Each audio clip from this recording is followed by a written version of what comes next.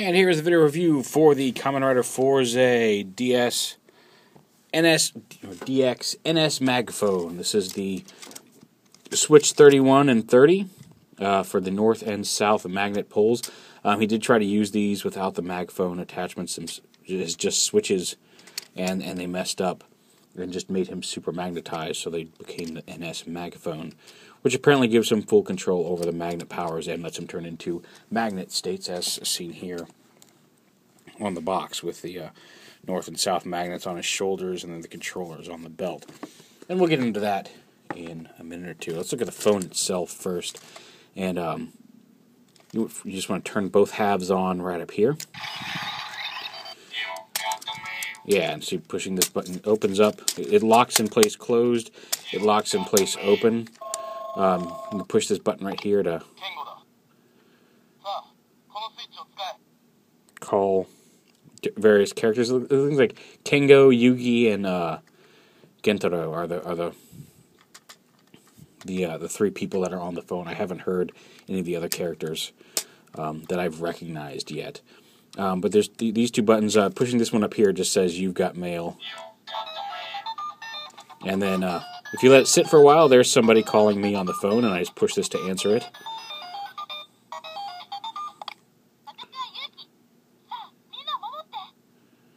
So Yuki had to call and leave a message for me, and that'll that'll run a couple of times every every 20 30 seconds. Uh, but you've got mail. You can push this button to get a random phone call or to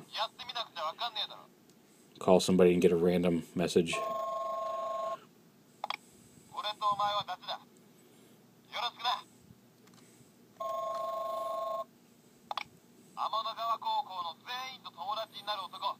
Yeah. So there's that, and like I said, if you let it sit for a few seconds, it will. Uh, you'll hear the uh, the henshin noise ringtone, and uh, get a random phone call. Every now and then you'll get uh, Gentaro uh, saying "Uchu kita," which is fun. Um, but trying to get one specific noise would take forever.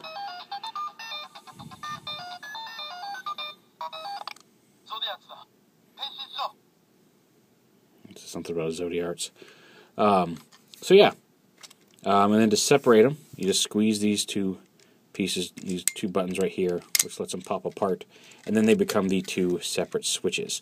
Um, now, these won't just plug into the belt and make noise, like most of the sounds are actually in the halves themselves. Oh, there we go.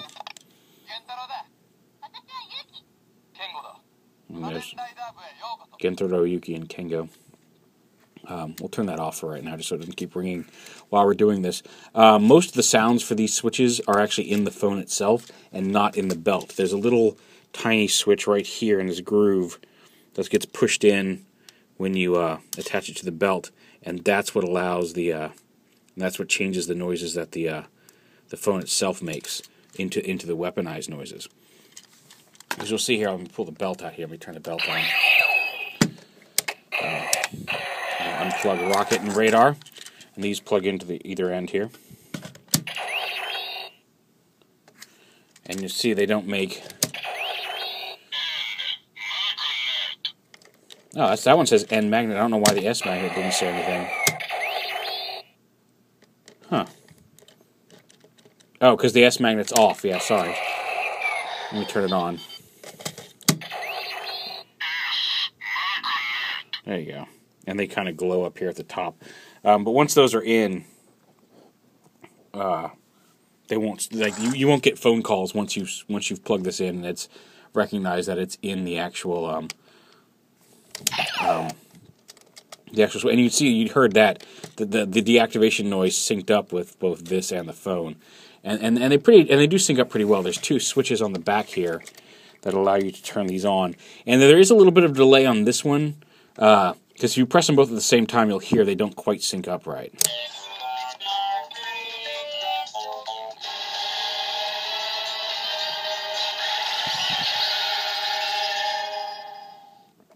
But if you, if you hit the N magnet just a little bit beforehand, it uh, they, they sync a little bit. I haven't gotten it perfect yet, but uh,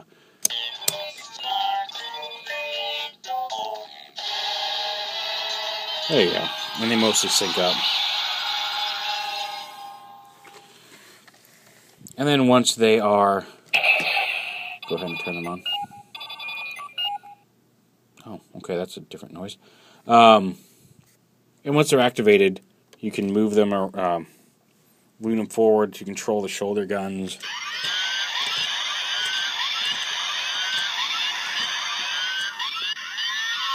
And pull the triggers to fire the guns.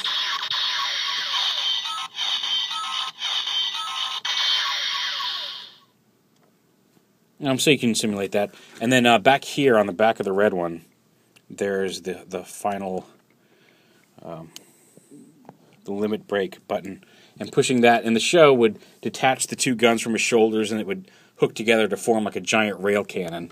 And you just hold that down.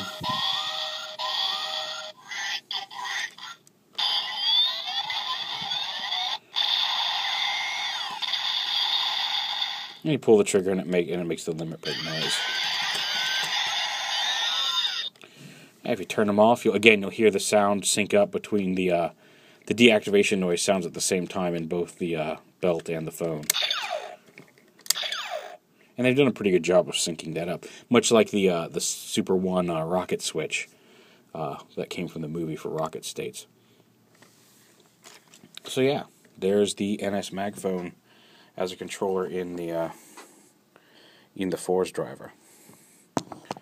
Now, uh, obviously, these aren't going to fit in a standard Switch cabin, and honestly, like it's it's kind of a shame because we're probably not going to get. Um, I just don't see how they're going to make um, like any sort of gashapon version of the Switch. I guess they could, but it would just be the Switch, which, if you know in the show, you don't want to use because it just magnetizes you. So we'll see if we this this may be the only version to get the 30 and 31 switches. Who knows? We'll find out, I guess, as time goes on. Um, while we're here, though, I do have some new switches to show off that I've gotten since last time. So go, there's Rocket would know that know about that one.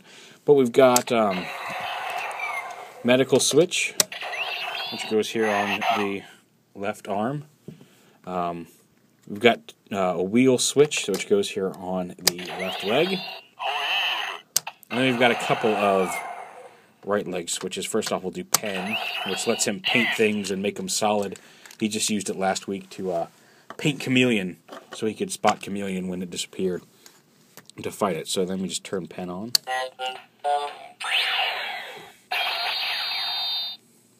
That's all there is to pen. The wheel, which turns his wheel into like a little Segway device uh, medical. It looks like a syringe pusher plunger on here, and it gives him like a medical kit on his left arm that lets him heal people.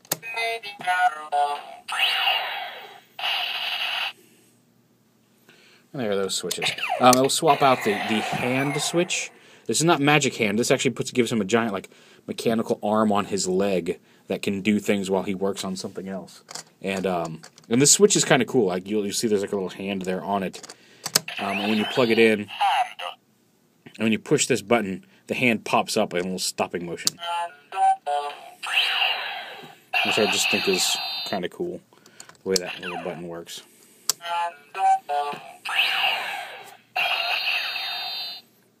So there, those are the, the new switches I've gotten since then. There, there's a new switch set out that I'll probably have on the way soon, which is claw and board, which gives him like a Wolverine claw on his right arm and then like a snowboard on his left foot.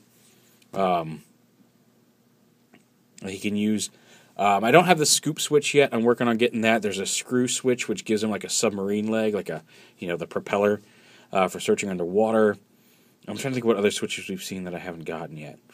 Um, there's oh, there's a giant foot switch, uh, and a few others. So we're getting, cl- but we're getting close. We're into like the mid 30s of the 40 switches that Fourze uses. So um, so pretty soon we'll have all 40 switches. We're getting there. But yeah, there's uh, the new switches here, as well as the uh, the NS Mag phone. A lot of fun.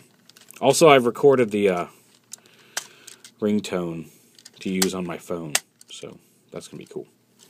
But yeah, there it is, uh, DX NS Mag phone.